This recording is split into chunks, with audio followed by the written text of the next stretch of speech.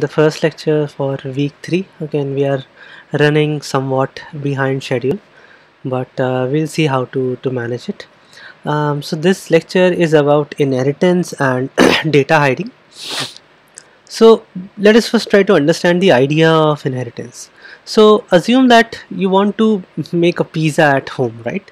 Um, you can do that. We have tried it at home during the lockdown period and we know that it is possible so the way to do that the simplest way to do that is that you can go and buy a pizza base from the market. So you can get that in the market. They'll uh, they'll put the pizza base in some kind of uh, plastic covering and uh, you can buy it directly. And I think it works for uh, four or five days of to, to up to a week right? You can you can keep it at your home and then you can use it to make your own pizza right?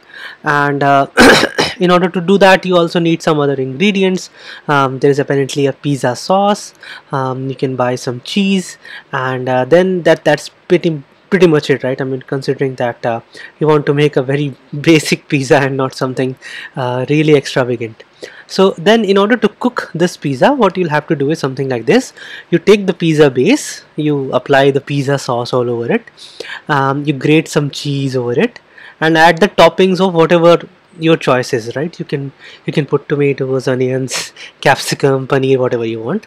And then you can cook this this base in an in an oven right? There are some uh, temperatures and everything that you'll need to know but uh, this is the idea. You can also cook it on a I think on a a basic tawa but uh, yeah it's good if you have an oven.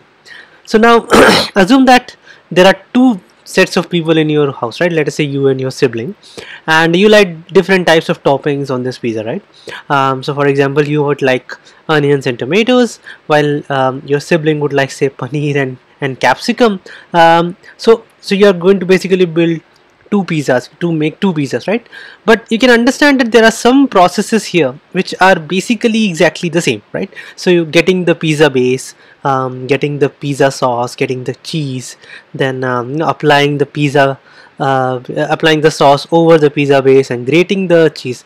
Up to this point it's basically common right?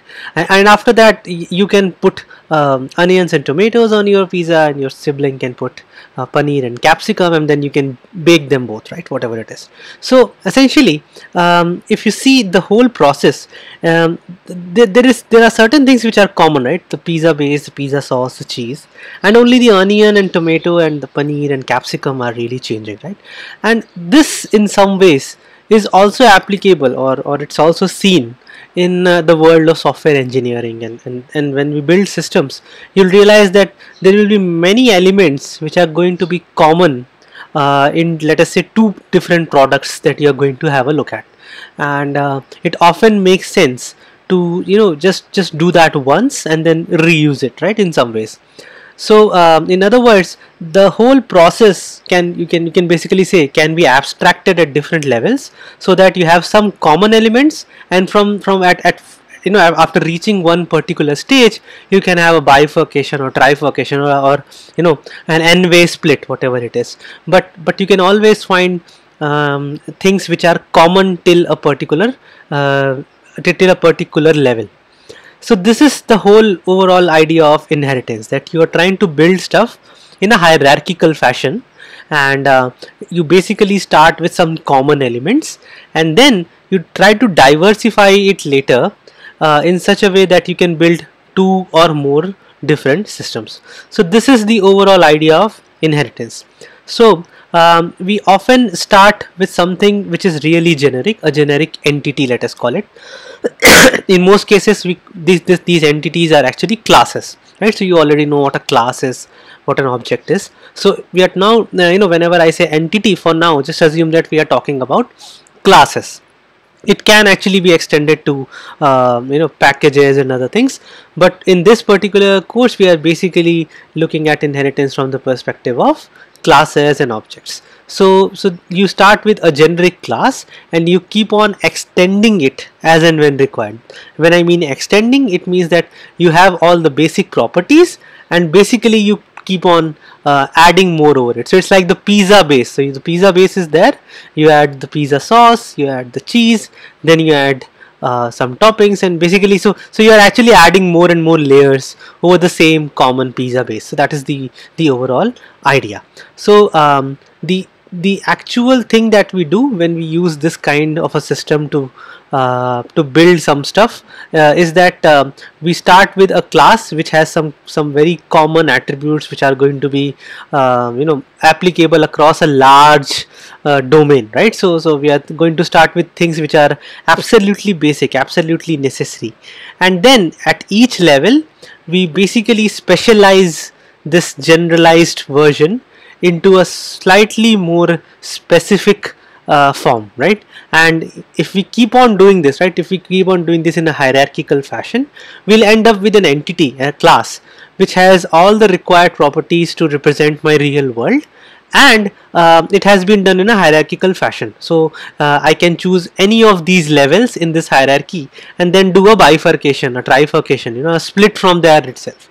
So this is the overall idea and this whole phenomenon is known as inheritance. So you start with a particular class, you add some properties to it, then you inherit it, you create another class and um, then you you basically add more properties to this new class so the the class which was inherited is known as the base class whereas those which are going to inherit it and extend it are are uh, known as derived classes so this is a very uh, you know simple example the, the same pizza example if you try to uh, see it from the perspective of inheritance then essentially you can say that um, there is probably a class of all wheat based dishes you know the, the dishes which require you to have let us say wheat flour.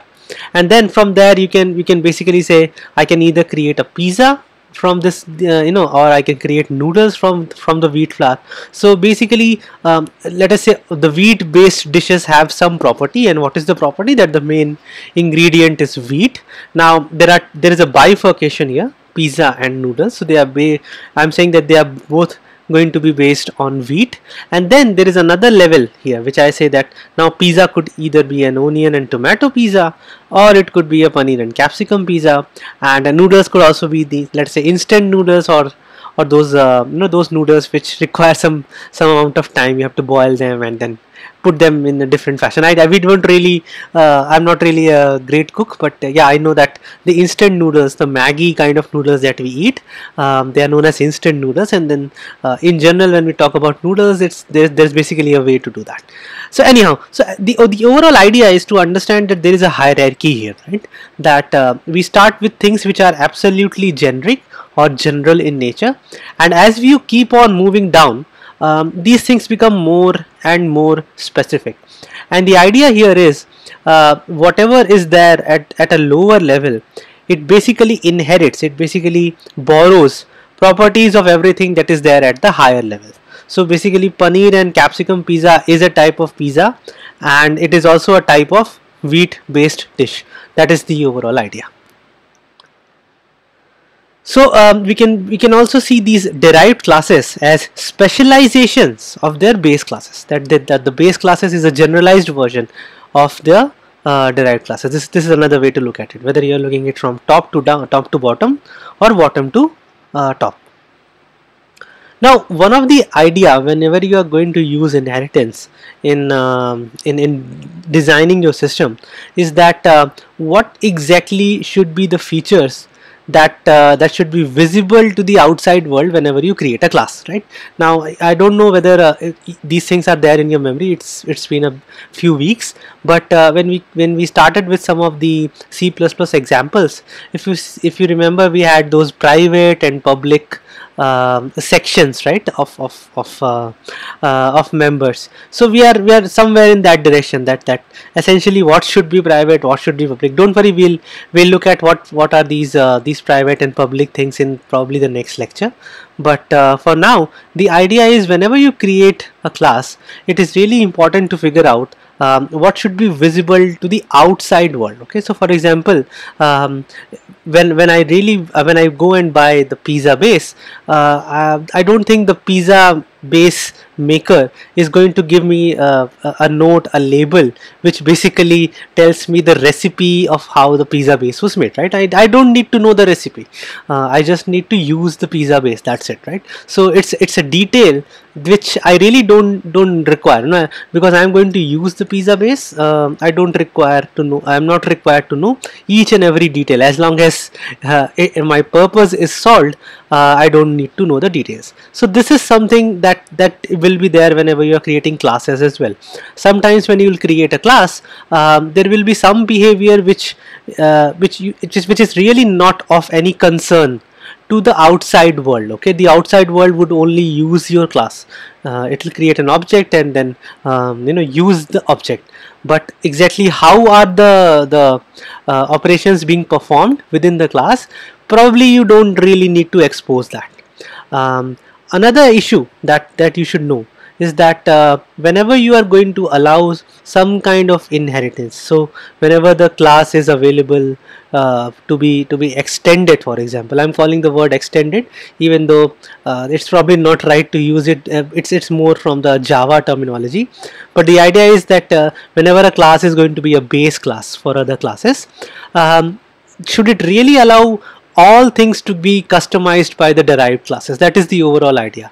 Or should it actually hide certain types of uh, uh, properties? Should it actually ban modification to certain behaviors right? Uh, for example uh, is it possible to uh, bring a pizza base at my home and then turn it into noodles for example? Maybe the pizza base manufacturer uh, can actually put certain ingredients in it so that uh, if I try to make noodles out of it I will I will fail miserably. That is the idea. So um, it is possible that uh, even when a particular class is going to be a base class uh, the derived classes might not be able to modify certain behavior of its parent right? Uh, because that is maybe maybe that is a part of the parent's identity so uh, these decisions can actually seriously impact the use of inheritance because if you if the base class is too restrictive it doesn't allow modifications to its behavior then its use also becomes restrictive. At the same time if it is too permissive you know you you basically uh, allow a lot of modifications in the derived classes then the identity of the base class itself might be lost right? So basically you are essentially uh, uh, selling people pizza bases. But if if it is so easy to convert pizza bases into noodles then maybe you know you are not really serving the purpose. So there is something known as the open closed principle. Um, it's a very old principle um, but it says software entities like classes modules functions etc uh, should be open for extension but closed for modification. So what exactly does it mean right? I mean it's it, it could be a bit confusing when you read it for the first time. Um, open for extension but closed for modification. So what exactly is the difference here between modification and extension? So in if you go back to our uh, our pizza case right? Uh, if you the pizza base that you bought if it is possible to somehow repurpose it into noodles then basically this is the example of modification that you bought an uh, you bought an entity and then um, you know you you derived it and then you basically changed everything from the parent. And now the you it's it's even hard to uh, determine that uh, you know which was the parent for this derived entity. So in such cases you are basically allowing modification of the behavior of the parent uh, the base class as, as we, we, we call it. And uh, if this modification is not allowed then you can say that uh, modification has been restricted. Um, and now the the, the example of extension is that you basically use the pizza base as it is and then you start applying sauce and, and, and cheese over it right on top of it. So this is where you are going to extend it right? That the pizza base was a very simple entity but now by adding things over it you are now going to create a pizza out of it right? So this is an example of extension.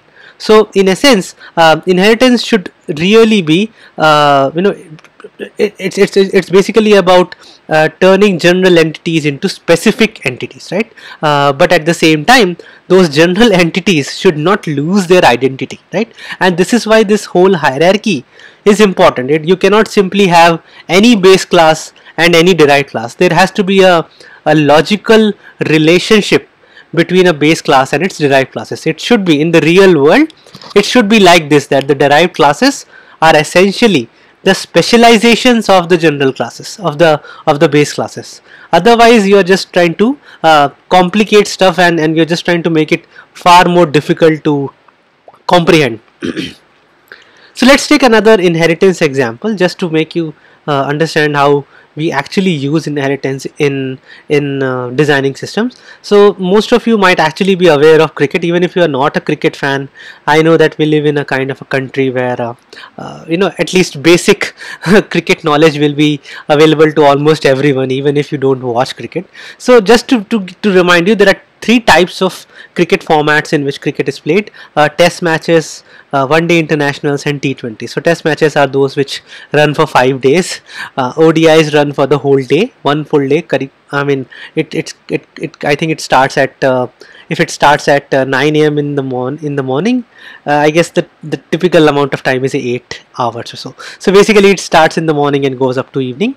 And T20s are I think like 4 hours or so. So uh, these are three formats in which cricket is played. So let us just assume that we are now trying to, to come up with a new cricket format. Okay it's called let us say T10 where you are basically which is the, the the duration of let us say a T10 would probably be half the time of a T20 there will be like 10 overs in each innings. Now I want to create a class okay which which represents a T10 match okay. So what are the what are some of the things that I would probably need to store there?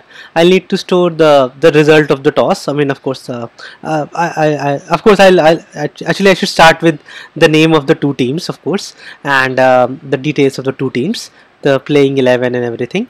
And then uh, at the start of the match there will be a toss you know whomsoever wins the toss we the, that that team decides who's going to bat first and who's going to field first. And uh, then I'll need to store the scorecard for the first innings and then the scorecard for the second innings. And based on that I'll know that which is the winning team so I'll probably need to store the name of the winning team as well. So this is a very simple example of this this class the T10 cricket match class. Um, by the way uh, here here I'm actually using two uh, classes and there is a class there is a case of nesting. I think I showed you how nesting works in the first week.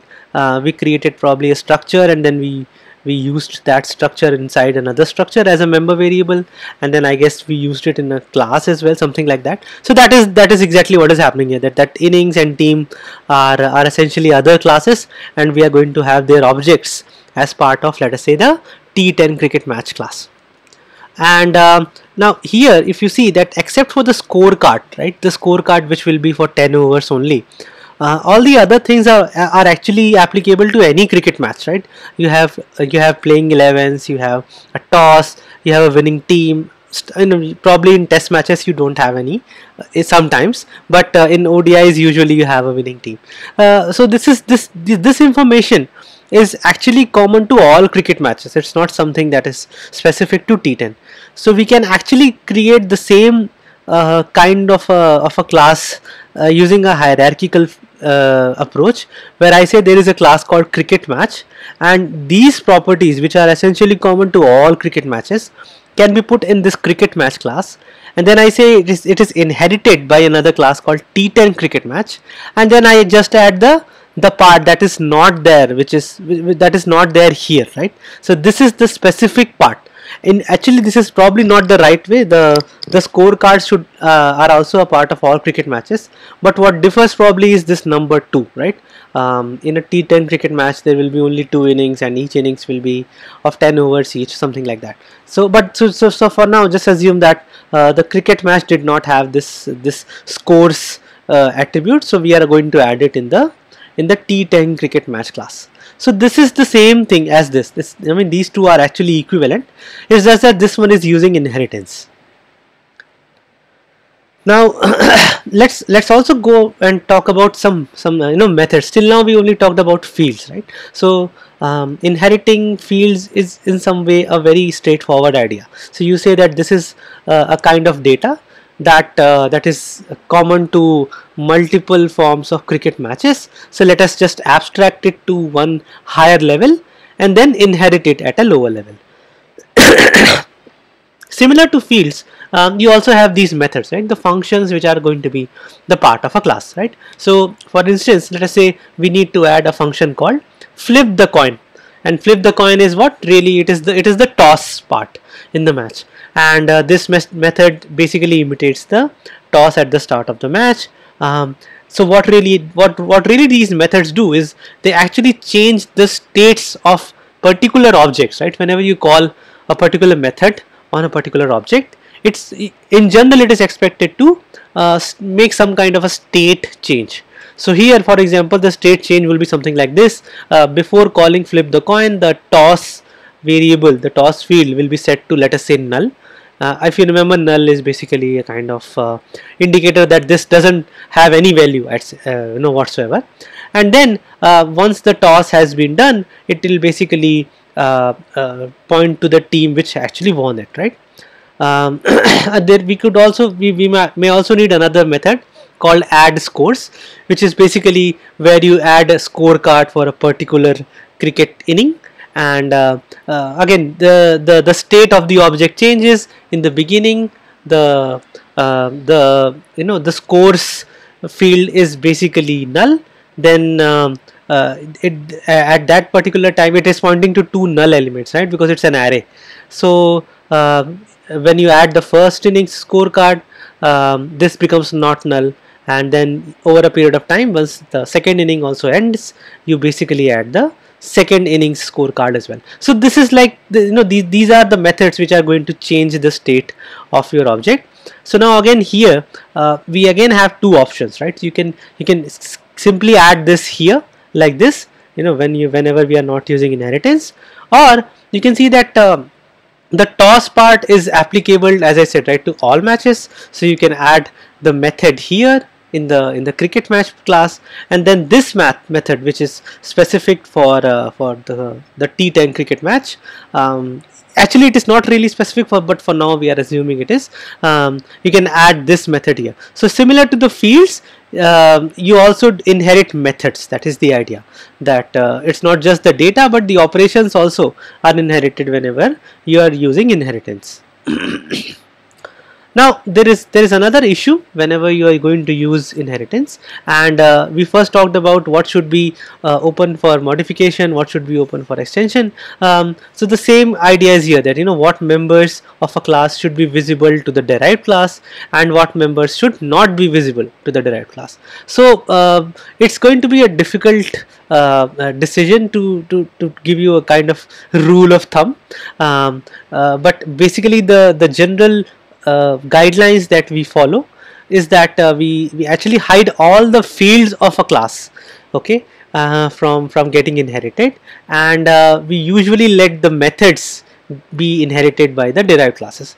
Again the, there is really no rule of thumb. As I said uh, this is a general idea. We usually start the designing using these things in mind that uh, in general I will hide all my fields and I will let all the methods go to the inherited class. The inherited class can use it as it is as it as it wants. Um, but of course there will be certain cases where I would want a particular field also to be shared with my derived class. So it's not really a rule but uh, if you choose to do something otherwise if you choose to uh, let a particular field for example uh, be inherited by the derived classes or hide a particular function a method from the derived class just make sure you convince yourself that that uh, you are doing it purposefully and that uh, uh, that there is a rationale for doing that okay. And uh, all the object oriented programming languages at least the ones that I know have a way to uh, decide the visibility of each member. You can individually decide for each field as well as method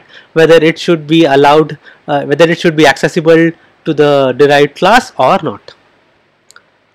Now there's just one more thing that need, we'll discuss today. And that is the overall concept of overriding.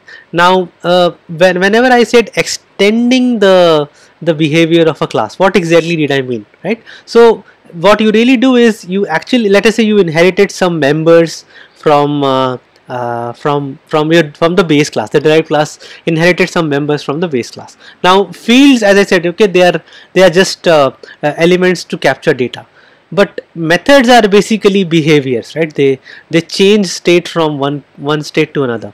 So uh, there is a concept of redefining a method a method that was already defined in the base class. Now in the derived class um, I want to do something else okay? The behavior I want to ex either extend the behavior or modify the behavior. And that is why I said right in, in some cases I might even want uh, to hide a method from my derived class if I do not want a particular behavior to be modified. But anyhow um, uh, if, if let us say my, my derived class has access to all the uh, methods that uh, that were given by the base class and my derived class wishes to change the definitions of certain methods that it has inherited the, the, there is a concept of overriding right? And what does this mean? When you override a particular method what really happens is uh, the definition that is provided for it in the base class given that there is a definition because in some cases um, uh, it is possible to simply create a method uh, within the base class without providing a body without providing a definition. Okay you just give the declaration. Such methods are known as abstract methods or in C++ terminology they are also called as pure virtual functions. And uh, the moment you actually have a pure virtual function one or more pure virtual functions in a class um, you cannot instantiate this class. Why? Because you understand that what if I want to invoke that method uh, using the object of this class? There is no definition for it right? So so I cannot invoke that method. So the way in which object oriented method um, programming languages restrict you from uh, calling a method whose definition is currently not available is by disallowing you to create an object of that particular type right? So uh, if you have a class which is abstract and when will this class be abstract? If you if it has at least one pure virtual function.